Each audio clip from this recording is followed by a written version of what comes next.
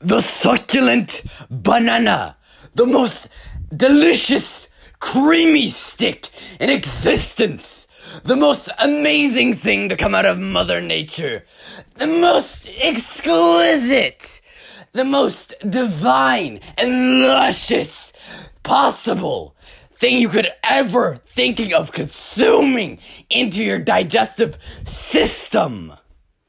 Amazing!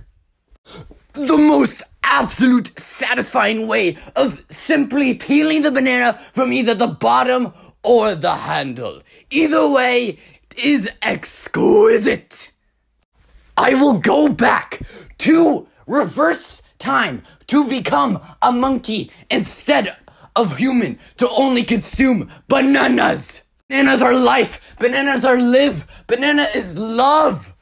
The most divine fruit to ever exist on the planet.